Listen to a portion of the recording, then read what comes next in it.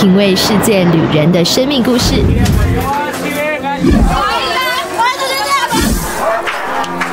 找回记忆中的幸福滋味。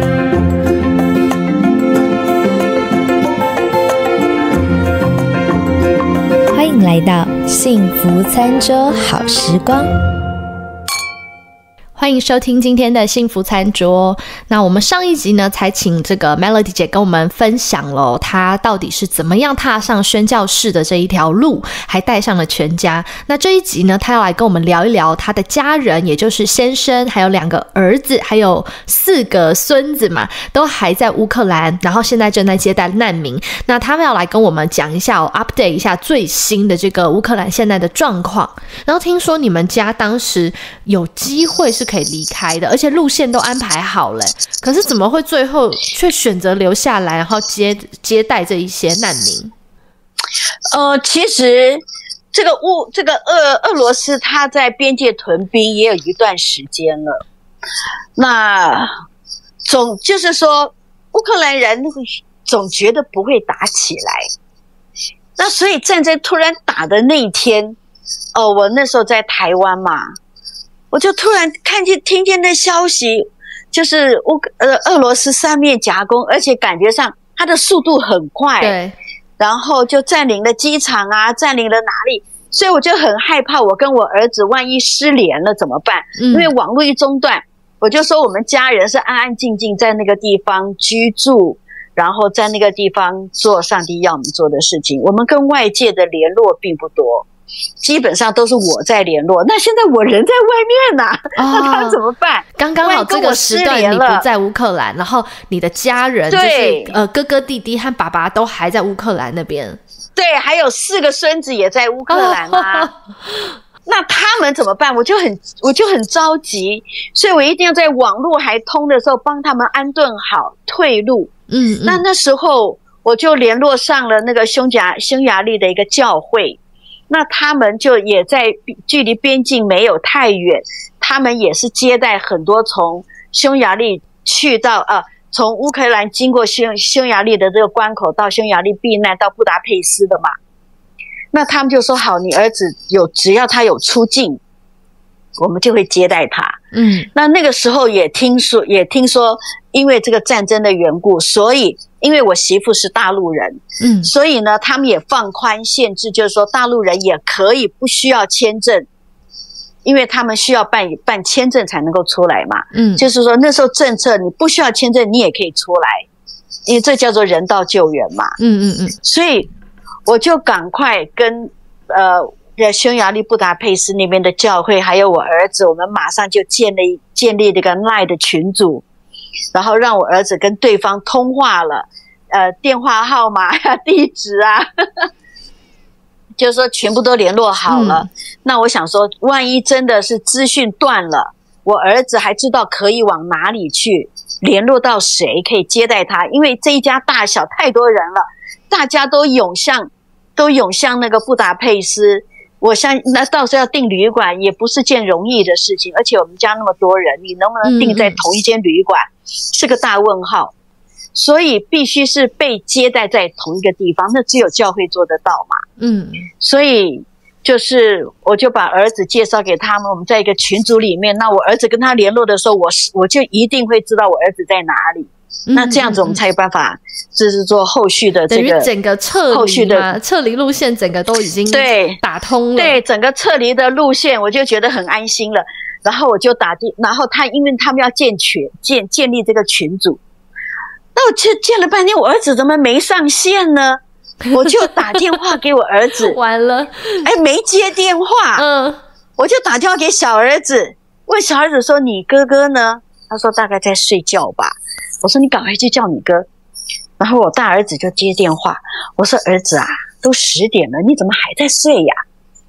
他说：“我早上六点才睡。” 我说：“为什么你要六点才睡？”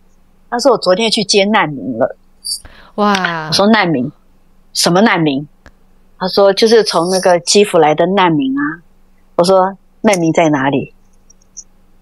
在我们家呀。我说：“难民住在哪里？就住在我们家呀。”我那时候才搞懂，他把难民接到我们家来住了。所以原本已经是已经随时就是已经准备好，马上就要离开乌克兰了，就没有想到一接难民以后，全部人都待了下来。对，所以他就说：“我们走了，那难民怎么办？”哦，那时候才知道，原来我们家接待难民。哇，那所以他们算自发性的耶，自发性的愿意去接待这些难民。那是他，没错，没错，那是他们自发性的觉得说这是需要做的事情。他所想的不是我能不能撤退，而是现在有人需要，而我们家刚好有空位，嗯，可以做接待，因为我们的房间很大，嗯，所以。因为我们家就是地板啦，还有我们家没家具啦，所以刚刚 好哎，就就是一个木头，对，然后所以那个地板嘛，你就你就放床垫啊，是可以放很多床垫啊。那这样就可以接待很多人啦。就像你前面讲的，是神应呃，前面有讲到说逃城嘛，所以其实上帝好像之前就默默的已经预备好，包含你说你家里没有家具，然后刚好可以放一堆床垫，对，这好像是之 听起来冥冥之中，为神已经安排好了。对呀，我们家就是床垫而已，然后再再来一个就是小小的衣柜而已啊，连衣橱都没有啊，就是抽屉的那个。以前我们买房子的时候，那个房东剩下来的那个那个三三层的那个衣柜啊，就这么简单呐。那现在有难民来，我只要把那个东西稍微一挪，那个场地马上空出来，然后放床垫，呃，就可以接待难民了。然后呃，后来我先生跟我小儿子也把他们自己的房间让出来，然后自己就睡到一个一个仓库的阁楼，那个阁楼。是不能够住人的，是被他们修改以后就可以勉强的躺下去，也塞人，就是把大的房间可以容纳更多的人。那所以我觉得说，真的很感谢神，说他们尽他们所有的，甚至于是他们所没有的，譬如说把房间空出来，只因为那些一些难民带着小孩没有办法去睡到阁楼，因为我们家那个阁楼的楼梯就是一个。很简单的那种很陡的那个木头的那个楼梯自己定的，嗯，你不可能要叫那难民的小孩去爬这种小楼梯吧？嗯嗯嗯。而且那个阁楼它原来就不是住人的，所以它也就是说这个小房子也没有厕所，然后也没有暖气，也没有水。那我先生跟我孩子就自愿去住，就窝在那个小小阁楼。像你在论坛报还是在哪里看看见那个穿黄色衣服在面跪着祷告的 儿子小儿子，对，就是那一件，呃，真的两个人伸起伸腿啊，就差不多没，就空间大概就用完了。难怪之前月阿咪这是他们自己愿意做的。对，难怪月阿咪会讲说什么，妈妈都笑说爸爸和弟弟活得比难民还要像难民。对呀，因为他们把房间东西就都放到那个小阁楼啊，嗯嗯，然后更多东西又放在另外一个地方啊，就是哪里能塞哪里塞啊，嗯，然后你的小阁楼就，因为他们的时间就是在外面采购物资嘛，因为你从战争一爆发，物资就开始，你买了就就是不会再有补货的了啦，嗯，因为食物供应链断掉了嘛。对，所以你买完了就不会再有，所以你需要到市面上去寻找物资。然后你家里十口的人家现在变成三十口，整个用水、用电，包括用厕所，都是完全不一样的这设备。然后我们要考量，没有水的时候，这么多人喝什么？嗯，万一没有电的时候，这么多人煮饭要怎么煮？嗯。就是说，你的考量点就变得非常复杂，所以他们整天都在外面忙，也没有时间。反正只要把这些难民照顾好哦，自己自己是主人，呃，也无所谓。所以，我儿子就说，反正我儿子他们他们就觉得自己啦无所谓啦，能够过就好了啦。那别人嘛，别人心里面还是嗯，还是要考虑到人家的心情，所以就。尽就是尽量让别人觉得舒适这样子。可是，像很多人就是有疑惑说，诶，那为什么你没有在乌克兰？然后，因为我们都知道约阿咪现在是在以色列读书嘛，然后刚刚好你又去以色列探望女儿，就变成你们母女两个人在以色列。然后呢，爸爸就是你先生跟大儿子、小儿子还有四个孙子，现在是在乌克兰。其 实去年我们。去年哎，二零二零年的时候，我们回台湾。嗯嗯嗯，对，讲起来是前年，二零二零年，呃，我们大概这样四月吧，四月回台湾，然后就疫情开始了嘛。嗯嗯，然后很多我们要做的计划就一直被耽延。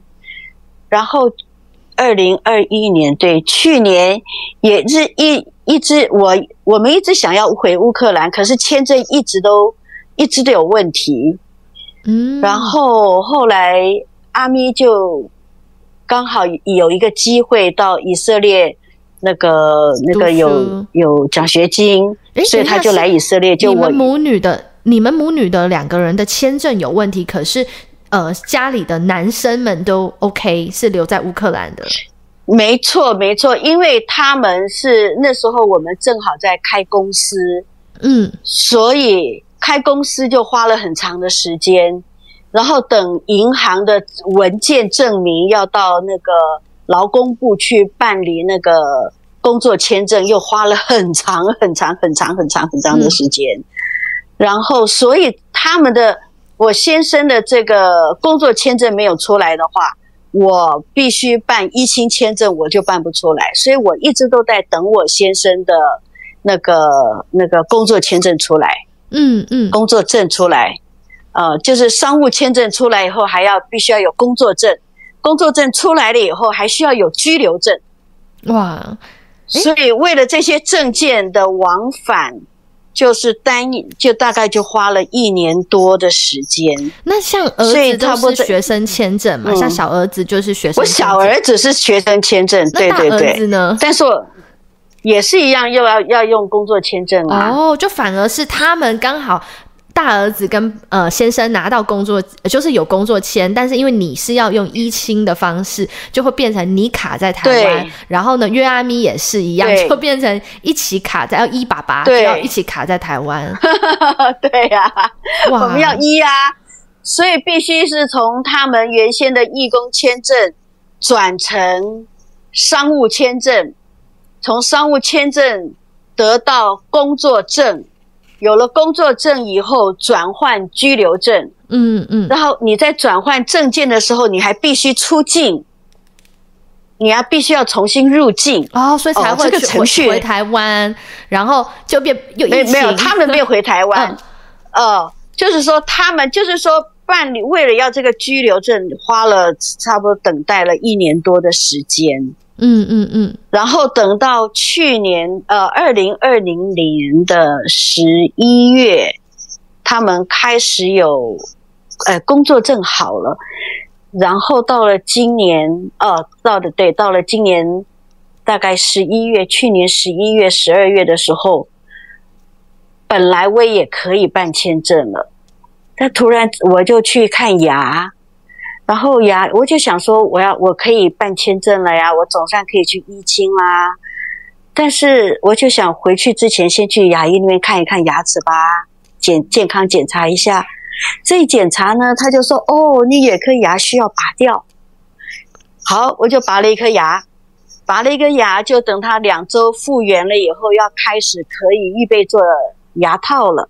他又给我检查说：“哦，你还有另外一颗牙，看起来不太妙。”于是又去检查，然后他说：“哦，你这个牙需要拔掉。”然后因为拔掉的这个牙旁边是空的牙，所以为了要连串起来，我必须连做九个牙。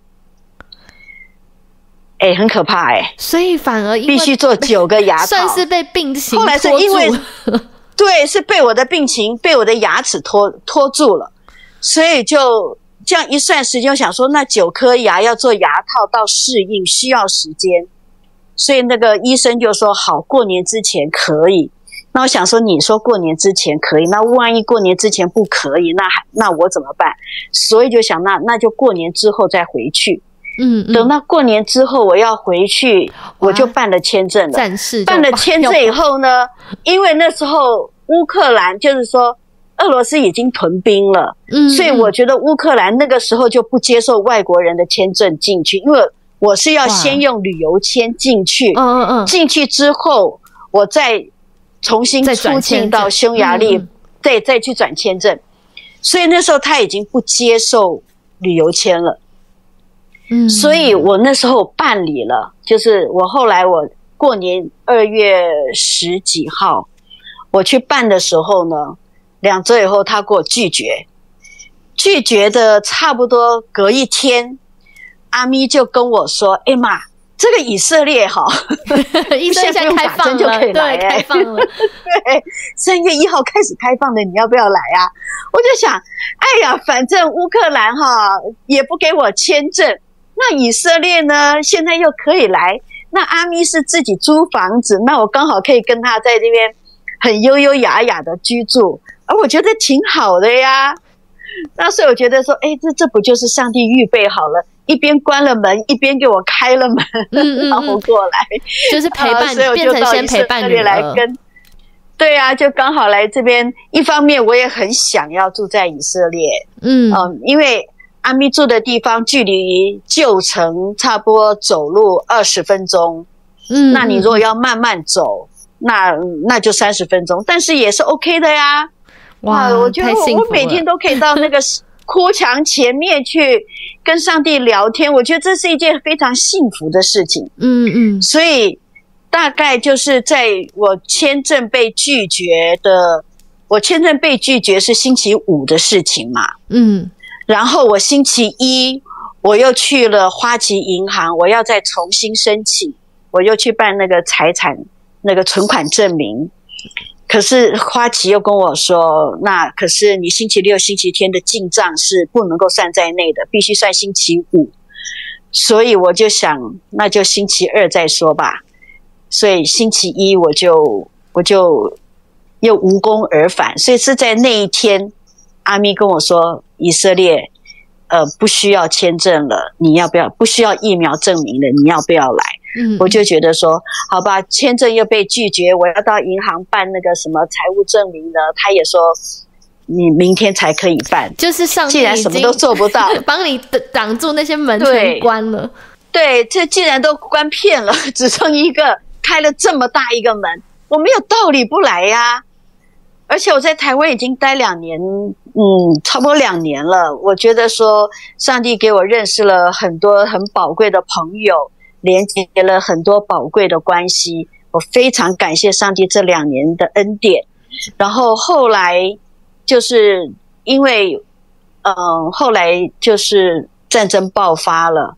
从那时候开始，我就我就我就觉得说我需要，其实我是很开心啦。我那天。我就我就发赖嘛，我就说，哎，我们家竟然开始接待难民了，我就开始跟我的朋友们讲，其实我真的是很诧异上帝的作为，嗯嗯，就是当初我们是为了逃城的意向而去，我觉得以我的年龄，可能我的我的逃城计划是为我的下一代跟我的下下代，我觉得我的有生之年我不会碰上。所以，所以突然之间，哎，我觉得上帝好像让我们家在做彩排，做陶城的彩排，怎么样预备接待患难的人的一个一个情境的一个预演一样，对，避难所的一个情境的预演。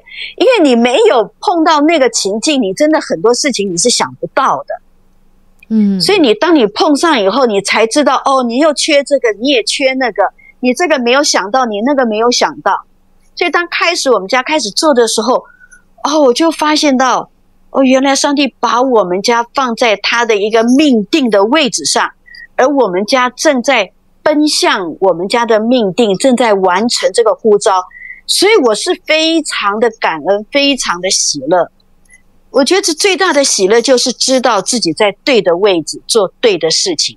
嗯，就回应到，所以真的是。对，回应到了你以前说你小时候，上帝当时就告诉你要你就是去做宣教，然后你现在也正在做，而且是你说这个领受到当时说这个陶城要建一个很像保护人的陶城，没有想到他就在你有生之年发挥了效果，所以我能够想象说有人想说，哎，战争你不是应该要很难过吗？呃，小孩子在乌克兰不是应该很担心吗？怎么会很喜乐、很开心的去跟人家讲，哇，我们家正在。接待难民哎，原来是因为 对，就听下来就哦，make sense 了，因为因为你等于说是哇，原来上帝为你的计划全部串在一起，然后呢，你发现原来神起初从你小时候给你的那一个一个我们说 calling 哦，就是呼召，原来哇，原来你你已经好像往这个方向走，然后那种感觉会很兴奋啦，我能理解那种很激动，没错，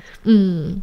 没错，就是说，你为你人生过去的经历，你找到答案，嗯，你也找到定位，对。而这件事情是我的家人去做的，这件事情更宝贵，因为这与过去，我的想法是，呼召是我的，自己，calling 是我的，意向是我的，我会觉得说这是我个人的事情，可是现在是我的家人在做，就是代表这是上帝是呼召的，是我们一个家。而且他们不是被强迫的，你还帮他们安排了离开的机会，结果 他们自己说不，我们 要选择留下来。没错，是是他们自己以他们为好，自觉的觉得说，我我正在这个时间点上。我去做我现在应该做的事情，而这件事情是神所喜悦的。嗯，那我觉得说这个比我去叫他们做还要宝贵千百倍。嗯，嗯所以我是存着很高兴的心，然后就跟我的赖群主，然后去分享。哎，我们家竟然变成陶城了。那那以我们台湾人来讲，乌克兰不管怎么样讲，也还是个遥远的国度嘛。对，那人家打仗。